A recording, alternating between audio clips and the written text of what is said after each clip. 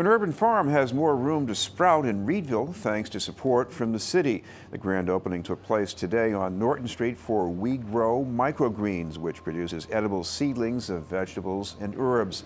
That means more access in the neighborhoods to fresh produce and jobs. Helping to make that possible was a piece of land conveyed by the city and funding from the Community Preservation Act through the Department of Neighborhood Development. Food that's brought in from Mexico or all the way from Europe is not as fresh, the nutrient density isn't as high. The longer food sits on a shelf, you lose nutrients. You also uh, waste precious fossil fuels. So by having food grown right in the city where it is produced, um, we only have to drive one mile to some of our customers.